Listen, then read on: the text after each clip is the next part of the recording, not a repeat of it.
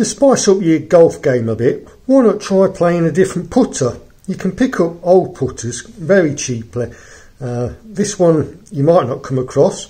It's a uh, it sits model and the professional that sold it was a Mr. A. Oakley and we've got a, a face cleek mark there which I believe belonged to Jack White.